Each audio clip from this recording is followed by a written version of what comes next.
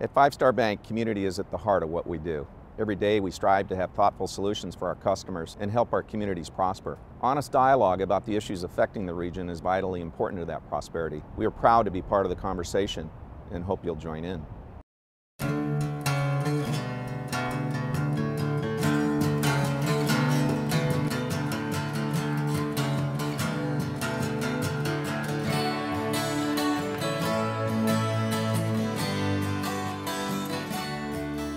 Welcome to Studio Sacramento.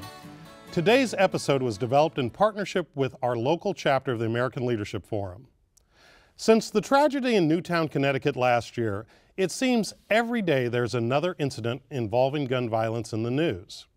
Whether the frequency of gun related deaths is accelerating or merely that recent events have more sensitized us, many of us are having conversations about guns, gun control, violence in our communities, and what each of us as individuals should be doing about it. This subject can be very personal, and today we're going to take a different approach. Instead of bringing in the usual experts on gun violence, we are having a conversation with two citizens active in the civic betterment of our region who will share their perspectives and speak their minds as individuals about the issue of gun violence. Joining us today are nonprofit consultant Nancy Brodovsky, and communications expert Gene Endicott. Nancy, Gene, welcome to the program. Thanks for having me. Thank you. So let's start here. It seems like that there is something different going on in our society. Do is there a greater prevalence of gun violence or is that just our imagination because we're all more sensitized to it at this moment? What do you think? I think there's been a problem with gun violence for a long time. Uh, and I also believe that there is more attention to the issue now based on some of these horrific events that we've seen recently in Aurora, Portland, obviously Newtown. Um, but the problem is not a new problem. It's a problem that's been around in this country for a long time. Uh, and I'm pleased that against the backdrop of those tragedies, that there is increasing attention to the issue and thought being given to the reasonable steps that can be taken to keep more of these types of things from happening in the future. Well, you know, when you talk about reasonable steps and, and we discuss what's happened thus far and, and the state of the debate, is there a, a consensus in this country, though, in terms of what might be reasonable? I think it's changing. Really? Um, if you looked at the polls, all of a sudden the numbers who would even consider uh, looking at gun legislation is in high, way beyond 60%, or even into 70%. So when you start to get that kind of consensus, it can change. But I think there's violence that's just not being looked at. You look at Trenton, you look in Chicago, it's like not here, so we're not looking at it. It took the incident with little children first graders, second graders, when those little children were gunned down, that stopped everybody. And then I think everyone had to take a, take a breath. Why do you think that is, Nancy? Because you send your children to school, you're thinking you say goodbye, give a kiss, you say goodbye, and you expect them to come home. And that's the safe place. Uh, and when that got stopped, it stopped, I think it, it, it literally stopped everyone. And it made people look at their opinions and see, am I on the right track? You know, I, I will tell you, it made me hug my own children a little bit tighter. Um, that day and the in the days following. Absolutely. I, I, back to your question about is there a consensus? I think it's it's very clear there is a consensus that there are some steps that can be taken and should be taken as soon as possible. And frankly, I get frustrated um, with the lack of quick progress toward you know the steps that can be, uh, I believe, achieved in even in a politically safe way by those on you know both sides of the aisle or those on different sides of the issue. The statistics Nancy alluded to are correct. That, uh, for example, if you take the issue of universal background checks, which is an issue getting a lot of attention right now and seems to have political traction. Um, NRA members themselves support that idea at a rate of about 74%. The public in general, it's closer to 90%. There aren't a whole lot of issues across the country you can talk about that have that level of support. And so I look at that and I say, why can't we get it done right away? I think eventually we will get there uh, and, and reasonably soon, but it's not as fast as I would like it to be. You work in communications, and it is puzzling in that there was a, a poll done by the New York Times and CBS, and it says exactly what both of you just stated.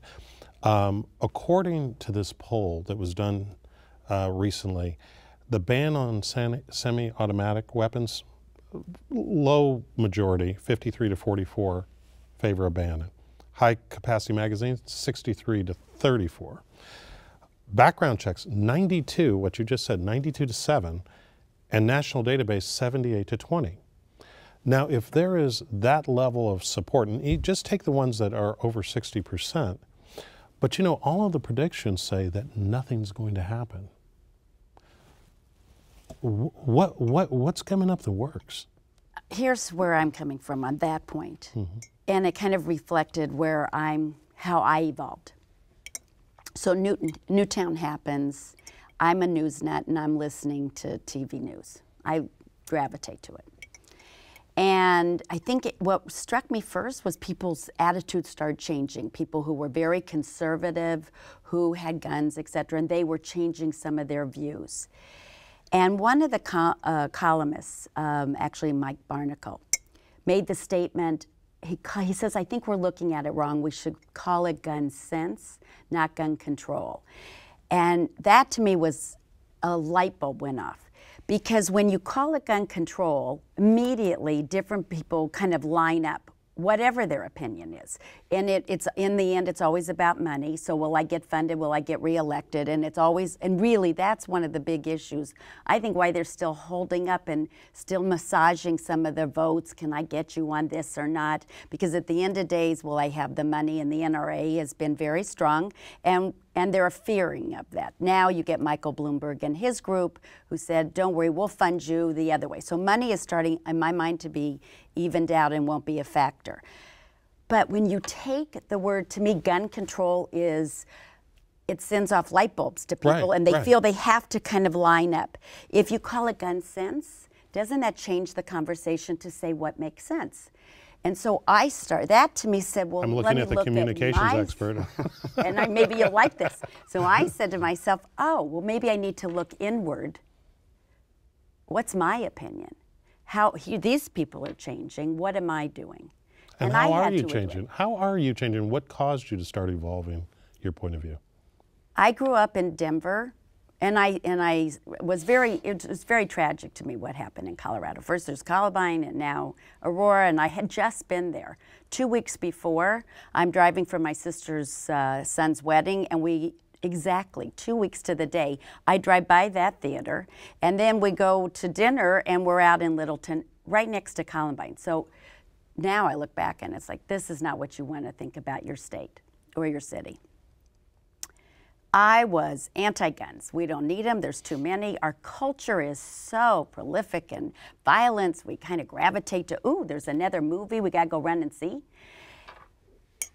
And I thought, well, frankly, statistics will say we have 50% of all the guns in the world. Do we really need them? No. But I then, once New, Newtown happened, I started listening to other people talk about the culture of being able to go out hunting with their grand, it's generational with their grandparents and their kids, and the joy of it, or going target practice and the excitement of it, and also the ability to defend your home, yourself. In, and I thought, I think I need to change. This isn't what I think, it's not what I'm used to or relate to, but under the law, they're entitled to it. No one's going to come take their guns. They have a responsibility to make sure they're locked and they're safe in their own home so they don't get stolen. But I had to, they're, they're we need, I guess if that's what people want to do and they're entitled to it, so be it. Then let's do gun sense, but to make sure that we try and avoid, and it's a complicated issue. So, in other words, you're not really for just banning guns outright or no. necessarily on board with no, banning all different forms of hunting, semi-automatic or any of that other stuff? When it comes, my worry is, and I know we get trouble, we get all hung up, you the communications expert, on how you define what's an assault weapon. What my concern is, when you have gun power that rivals the police or military, you as a citizen, that makes no sense to me. That to me is a dividing line. Hmm. Why should you have that kind of equipment at home? Well, well, one thing that I just point out is this: is that we've had a couple of police chiefs on the show, and one thing that they point out about gun control, gun control, or gun sense, as Nancy states it, is that if you live in a fairly dangerous neighborhood, um, protection becomes a lot more dear. And one thing which is also an issue is sometimes uh, the police presence is not by itself able to control uh, violence and, and keep people safe. So, how is it that we might wrestle with this, Gene? Well, first off, just back real quick to the issue we were just, just discussing in terms of what's gumming things up. I think, you know, like a lot of issues, um, you know, politics is very important in this. And um, I don't really care so much what it's called, uh, whether it's gun control or gun sense. What I would like to see is more focus on what it appears we can agree on. Things like universal background checks, for example, which are at the top of the list you were just talking about.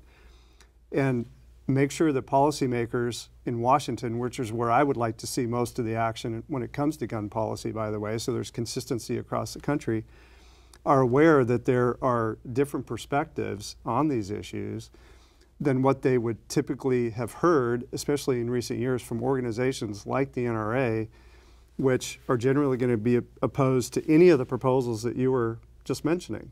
I think that's a pretty fair statement. Um, and so that's the value.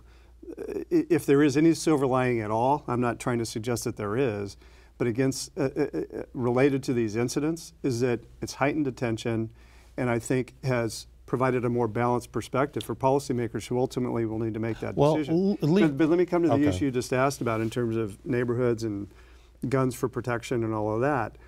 Um, I understand that, you know, that sort of emotional feeling that um, you're responsible for protecting yourself and your family and all of that.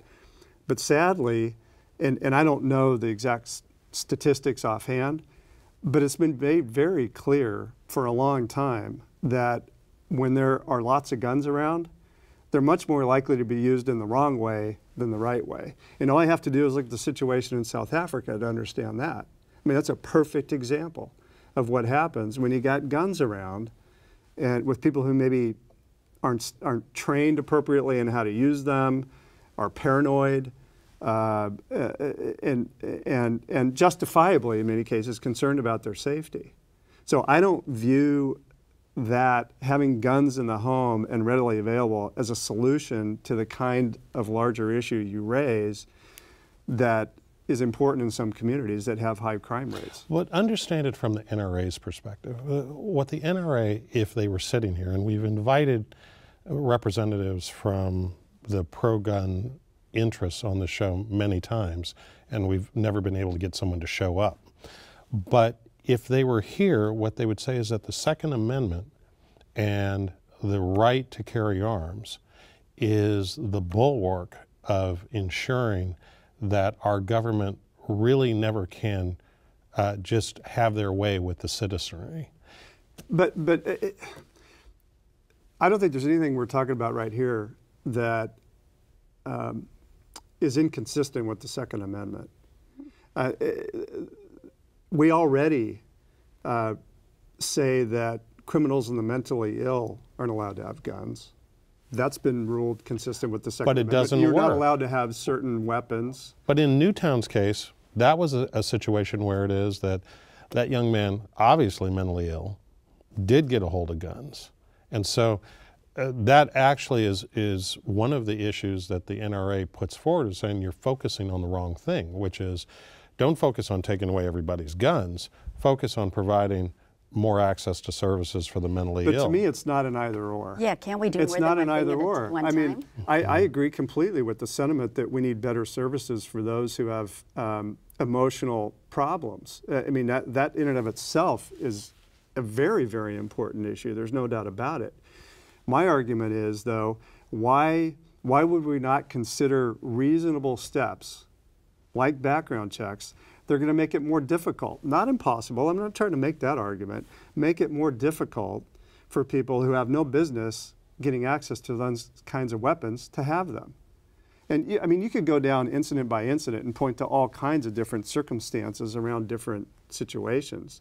But to me, if there are things you can do, they're going to make it more difficult for guns to be used in the wrong way against innocent victims. Why would we not be open to those kinds of solutions? Go well, ahead, there's two things that I think that has to be addressed in this. When you're talking about the, we talked about mental illness. I found it fascinating that of all the gun deaths, three out of five are related to suicide. So right away, we're not even talking about that issue enough, and that does relate to mental illness, and it relates to people who can become despair at a time and it all and then they have their gun in their home. In many ways it's like friends don't let friends who are depressed have guns at that moment in their home. It's not safe. And so we have to really look at that which is that every issue we ever deal with is always so complicated so mental illness we're closing clinics and we don't let in because of insurance let people even go get mental health and yet we have these issues. So that is something that could feed into this that could help that scenario. The second aspect is related to guns in the secondary market. The the loopholes, the being able to buy you've seen these on TV shows where people are buying guns they even say they elude that they're criminals and they sell them out of their cars or they sell them at gun shows or they sell them off the street they, or they sell it between each other but I don't have to record it. Well, if I buy if you buy my car, you have to have a title. And it's that again, I think gun sense. Forty percent, forty percent of gun sales elude background checks. Six point six million guns a year change hands outside of any kind of a background check process. Okay, but, but wait a minute. Okay, I, I want to share with you all. Former gang leader from Stockton sat in that chair several months ago, and he tells me, be, uh, talking about the violence in Stockton, that he can buy a gun on the street right now for 50 bucks. Okay? And people that are on the pro gun side of the equation, or status quo, we'll say, or all guns all the time, would say that the three of us at this table, we would submit to the background checks, we'd, we'd exercise gun sense, we'd do the right thing. But in fact, where the danger comes from, and notwithstanding the people with mental illness that you just spoke about, are the folks who can buy on this secondary market that Nancy just described for 25 to 50 bucks at a time. And that nothing we're talking about is going to get at that issue. How do, how do we deal with that? There's no doubt that um, there are so many guns around that you, you, you're not going to come up with any solution that will um, remove them in all instances from people who shouldn't have them. That's not the argument that I, I would certainly be trying to make. But I do think that the kinds of proposals we've discussed can at least move you in a direction where you have some chance of stemming the flow of guns from people who legally ought to be allowed to have them into the hands of those who shouldn't have them. So to me, I, I get frustrated with the argument that says, well, th- this problem is so significant that in effect we're never going to be doing, able to do anything about it, so let's do nothing. I don't buy that. I think that there are reasonable steps you can take to at least start to get at the issue you're describing. I don't make the argument that the kinds of proposals we're talking about, universal background checks or limits on ammunition magazines or anything like that, will eliminate all gun deaths or eliminate all crime, but I do think there's a likelihood that it would have some kind of impact and keep at least some innocent people from being killed. 32 people in this country are killed every day by guns.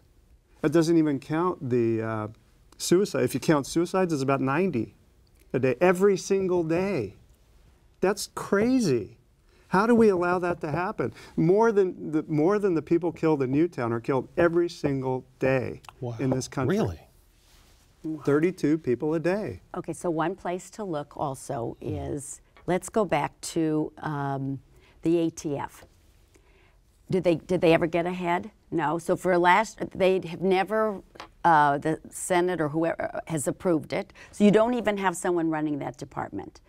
And I believe that I was hearing that they have not really hired more people Wait a minute. to work there. There's no one running the Bureau of They, Alcohol. they've never been Tobacco? approved. He has Hasn't two been for, there hasn't been for quite a while. No, now. it's uh-huh. been a, quite a while. And I also understand they haven't really hired any. They're, they they could they are still with the same amount of people at the ATF several years ago as there are now. Give some muscle and some teeth to the organization, and I s- would love someone to investigate who helped write all the background to relate to what the ATF can and can't do. And I think some uh, the organization that uh, is the NRA was very instrumental in helping them write Well- it. And I'm not sure that's who you want having. Well, let me give you guys uh, just a few statistics here because I thought this was interesting. On civilian gun ownership, in America, there are 270 million guns supposedly. Now, there's really poor data Right. on gun statistics and violence statistics in this country related to gun violence overall.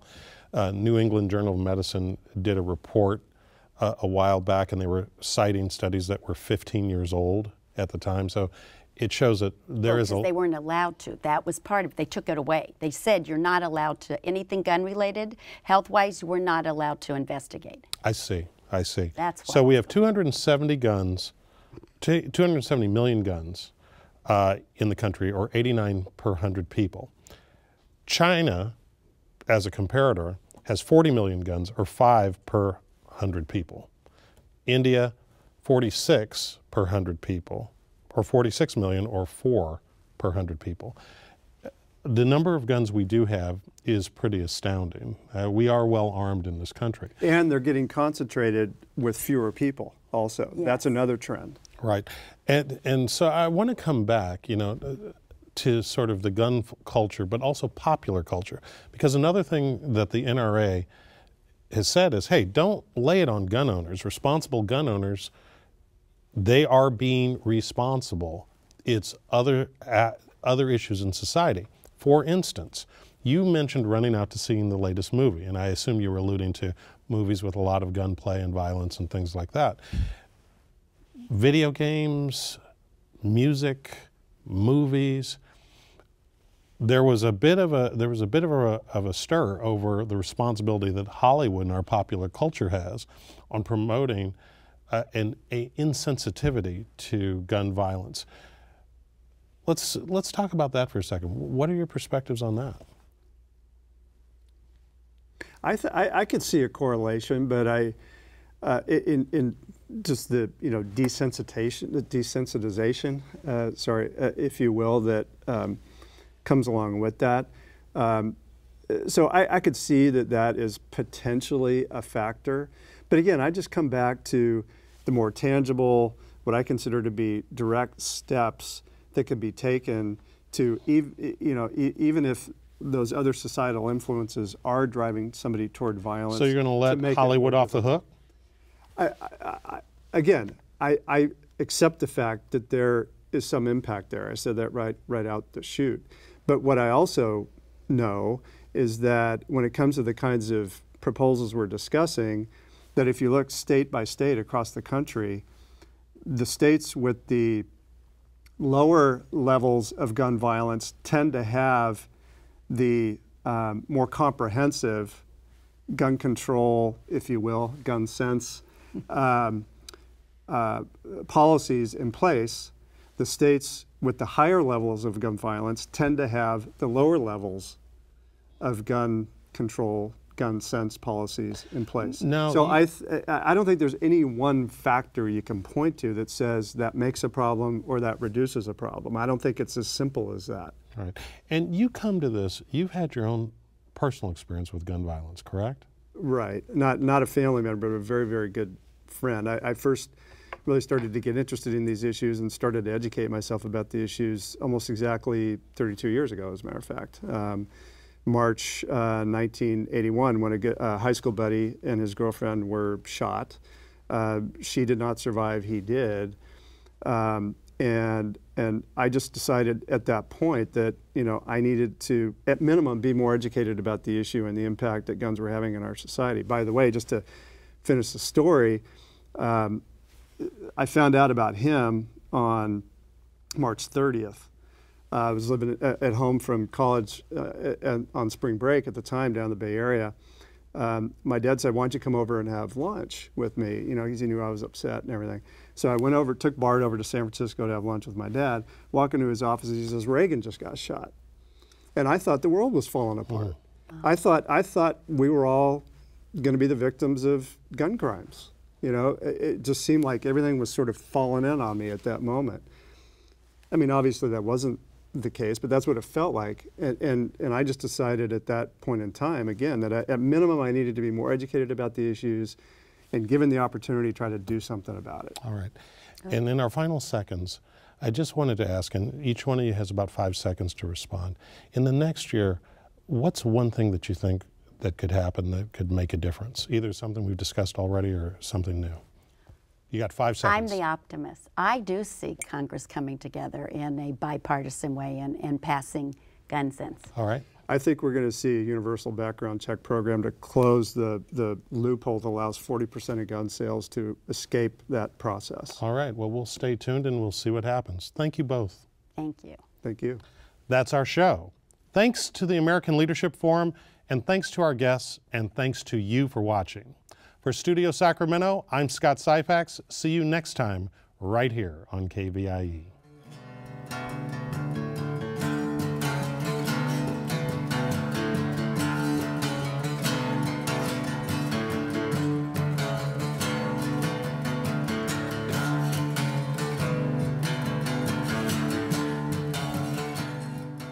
At Five Star Bank, community is at the heart of what we do.